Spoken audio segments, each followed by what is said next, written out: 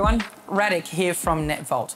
I'm here at one of our end user clients to demonstrate our unique NBN with 4G failover service and how this works in a real life production environment.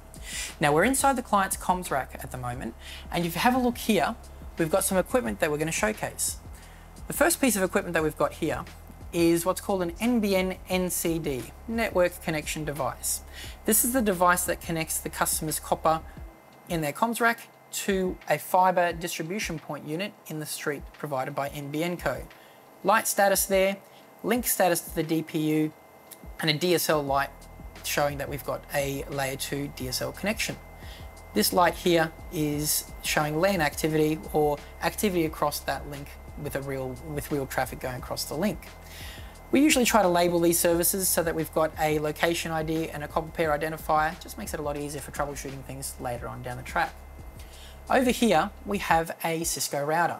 Now this Cisco router is rather unique in that we use BGP and MPLS technology within this router to achieve our failover.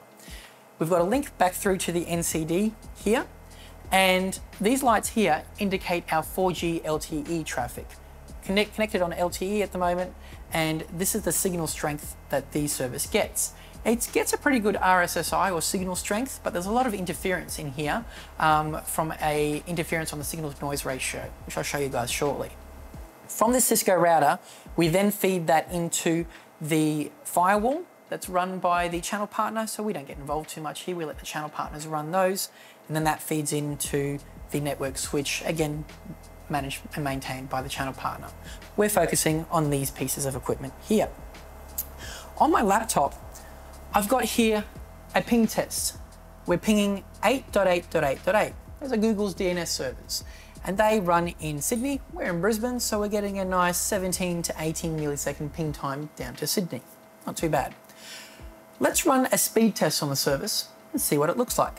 So good old speedtest.net is what we're going to use and we're going to hit go on that speed test. Now, one thing to note, see this IP address that we've got down the bottom here. During our testing, this IP address won't change, so keep an eye on that. We've got a nice six millisecond ping to our speed test server, and you can see here we're getting around about 93, 94 megabits per second. We've just topped 95 megabits per second. By the way, this is an NBN traffic class 4 service, it's up to 100 megabits per second download, up to 40 megabits per second on the upload. And you can see 95 megabits per second on the download, pretty good, especially when you consider you're supposed to do 10% protocol overheads on these. Upload speed test, not too bad, 37 megabits per second, smack bang on with 10% protocol overheads on that as well. Not much network traffic happening here in the background. So let's generate some. Over here, I've got a download.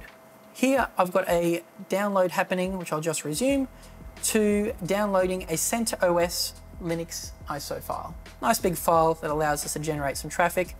As that starts to download, you'll start to see that that speed will increase. Let's check on that and see how that's looking uh, after that starts to download a bit of data. Over here, we have Netmon. Netmon is our monitoring and management platform where we monitor all our clients' connections. So if a client has an issue or service goes offline, our NOC guys get alerted and straight away can action that without having to, uh, uh, to rely on someone calling in. Let's just log in here and see what we've got visible here. What about over here? There's our downloads of that uh, Linux ISO, getting around about six to seven megabytes per second. Not too bad. All right. In Netmon, we have a nice little map showing where this connection is physically located and if I zoom right out here on this particular service, you'll see that's located here in Brisbane.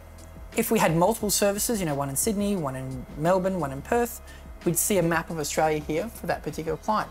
Channel partners see that as well, where they see all their clients listed there and up and down status as a result of that. Looking further in here, if we go and actually click into the service, we can see statistics about that service. The ping time, 19 milliseconds, what the download speed is on that traffic, how much traffic is actually being downloaded live on that service. And if you look at the side here, you can see we've got an interval here that we update this every 60 seconds. Here is our NBN traffic. This is the amount of data that's being pulled over the NBN interface, currently showing 57 megabits per second. And you can see historical information on this as well. Here's that data over the last two hours. last two days, 30 days. It gives us a good idea from a historical perspective what's happening with a client's connection. Typically, they're downloading and maxing out the connections, causing them to have issues. Great way of troubleshooting that. You can see here this particular service has a DMZ interface. That is what connects into the customer's firewall and our channel partner takes over from there looking after the internal side of the network. But what I wanted to show you is here this 4G LTE statistics. You can see here we have quite a bit of signal to noise ratio problems here, too much interference, but still we'll see what the service looks like when we do our testing in, in a moment. I'm going to go and now put these back to where I had them so we can see what's happening and let's see what happens when we fail the service by unplugging the telephone cable. That's the NBN connection that we've got there. And if we just have a look at what's happening with the light status on our NCD, I go and unplug that and you see straight away the lights go off on the DSL, LAN and the link to the DPU, distribution point unit, in the street. Down here, let's have a look and see what's happened. Our pings have gone from a 17, 18 millisecond ping and we've lost one ping packet. That's the one second failover that I'm talking about, okay? We failed over and here we're running on the 4G LTE interface, showing about 100 millisecond ping times, thereabouts. Let's just pause this download and just analyze in a bit more detail what we've actually done here. So ping times, when I, when I stop that download, they'll go back to around about 30 to 40 milliseconds. Normal sort of for a 4G LTE interface. Slower than NBN, but still quite usable. So is now showing that we still have a connection. We didn't lose that at all. We lost one ping packet.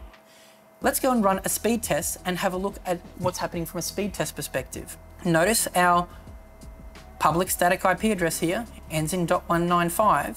If I run that test again now, let's see what IP address it shows that we've got.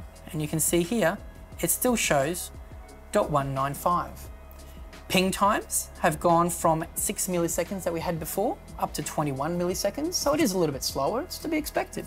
But a 21 millisecond connection is still fine for voice services, uh, internet data transactions, all your YouTube videos, they'll all still flow through pretty smoothly. Download speed, 10 megabits per second that we're getting on this connection, even with all that 4G LTE interference, not too bad. Upload speeds, 13 megabits per second. All while still having the IP address that you can see there ends in .195. Fantastic. Let's have a look at Netmon and see what Netmon is reporting now for us.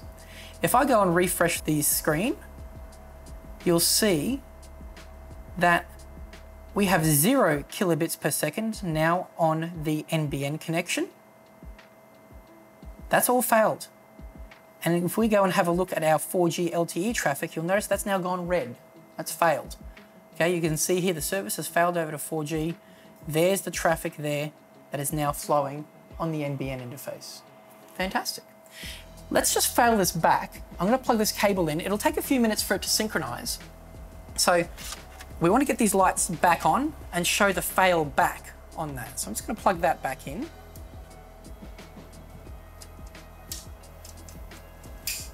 Go. And this will take a few minutes to synchronize. While it's doing that, I want to show you a few things. Here in Netmon, we've got something called NetFlow statistics. NetFlow statistics are a fantastic way for us to be able to isolate exactly who's doing what? Who's downloading what on the internet? Where, all my, where is all my download usage going? Why is the internet running slower than normal because of you know, someone doing a large download? Here in NetFlow statistics, you can see we split this out into different traffic types. And you can see here we've got a lot of WW traffic, web traffic. Hmm, so be it. Click on top talkers over here. Top talkers are the top computers on the network that are doing the most downloads. And you can see here from this pie graph, there's 75% of the traffic for that particular interval being used by this particular connection. That's the download that I was running for the Linux ISO file. And that's going to the destination being the customer's firewall. Remember the customer's firewall is up here and that's what's maintained by our channel partner. If we go back onto that service, again, this DMZ traffic is what's going to the customer's firewall. And again, we can see traffic details for the last two hours being the live data, two days, 30 days, 365 days. This is almost a mirror of the NBN traffic since that traffic is all being passed through a DMZ interface to the customer's firewall. The customer's firewall has its own live public static IP address that during failover, again, there's no changes that need to be done within the firewall. The firewall still sees that our Cisco router is the default gateway for the service and sends all traffic to it. The Cisco router is then responsible to use BGP to work out do I send traffic to the NBN interface or do I send traffic to the 4G LTE interface. That's again why we use Cisco routers to achieve this. Let's have a look at our NBN NCD. And there we go, we've got light status starting to come back on that. Great, we've got our link to the DPU, VDSL is back, and our LAN light is flashing again. Fantastic. Now, when that comes back, BGP is not going to fail that over straight away. It'll check to make sure the service is online, it's happy, make sure everything is stable before then it moves traffic from the 4G LTE interface back over to the NBN interface. If we go and have a look at here, our ping test to Google, and if we just scroll up a bit here, you'll notice there is a section here where we change from a 40 millisecond ping there to a 17 millisecond ping right in the middle there. So that's showing the service failing back from 4G LTE back over to NBN, which we can do without any packet loss at all, since you know, there is no cable being unplugged. But just to prove that there's no smoke and mirrors going on here, what happens if we physically sever the copper cable? Don't try this at home.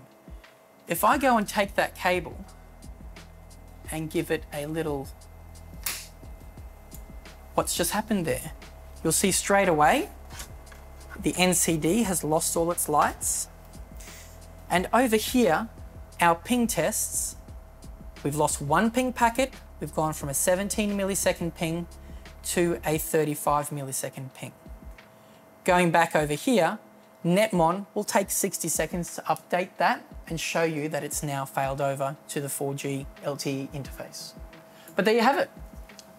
That's how we can utilize NBN with 4G LTE interfaces and utilize MPLS technology with BGP failover to achieve failover in under one second while keeping the same public static IP address and having no 4G data costs associated with the service. It's all part of the product. These services are fantastic for those clients that need high reliability and uptime over an NBN interface, which doesn't have the same SLAs and costs associated with the higher end fiber services. But fantastic to make sure that you've got good, reliable, stable connections uh, that fail over in under one second. That's it from me, guys. Hope you found this video informative and I'll see you in another video. Thanks very much. See ya.